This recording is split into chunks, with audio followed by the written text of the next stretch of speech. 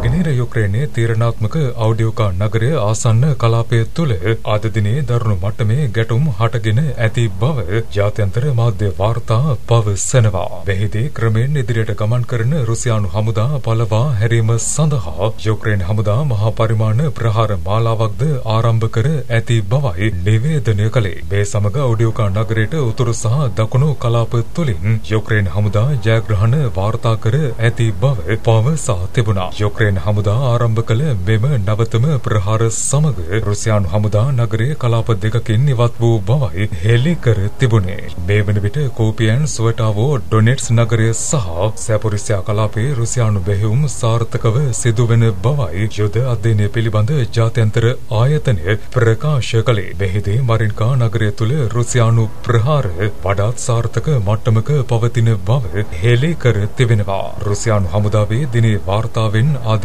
ප්‍රකාශ කළේ මරින්කා කලිච්චවකා සහ ඇන්ඩ්‍රියවකා නගර තුළ මේ වන විට සාර්ථක ප්‍රහාර සිදු කරමින් සිටින බවයි. ඩොනෙට්ස් කලාපයේ මකරෝකා නගරයේදී හටගත් ගැටුම් තුළ යුක්‍රේන පටයන් 50 දෙනෙකු ඝාතනයට ලක් වූ බවයි හෙළි කර තිබුණේ. මේ අතර කෝපියන්ස් නගරය ආසන්න කලාප තුළදී යුක්‍රේන හමුදා ප්‍රහාර පහක් ව්‍යර්ථ කර දමන ලද බව දැනුම් දී තිබෙනවා. රුසියානු හමුදා කලාපය තුළ ශක්තිමත්ව රැඳී සිටින බැවින් යුක්‍රේන හමුදා සියලු වෑයම් ව්‍යර්ථ කර දමනු ලබන බවයි ප්‍රකාශ කළේ. මේ සමග සර්බියන්ස්ගේ වනාන්තරයේ අභ්‍යන්තරයේ ස්ථානගතව සිටි යුක්‍රේන හමුදාවට කණ්ඩායමකට පහර දුන් බව පවසා තිබෙනවා. මෙහිදී රුසියානු හමුදා ප්‍රහාරක යානා භාවිත කරමින් මෙම ප්‍රහාරය සිදු කරන ලද බවයි සඳහන් කළේ. යුක්‍රේන හමුදාවේ දිනේ වාර්තාවෙන් අද කියා සිටි දකුණු යුක්‍රේනයේ කෙර්සන් කලාපයේදී සිදු කළ ප්‍රහාරයක් මගින් රුසියානු හමුදාවේ ගුවන් ආරක්ෂණ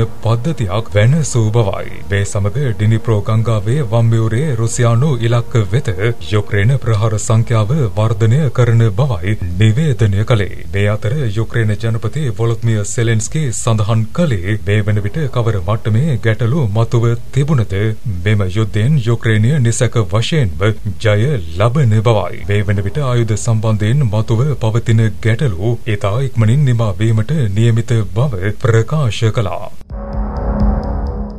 ලොව වටා වැදගත් පුවත් දැනගන්න ලංකා ඒ නිවුස් සබස්ක්‍රයිබ් කරන්න. නවතම වීඩියෝ සඳහා පහත සීනුවේ බොත්තම සක්‍රිය කරන්න.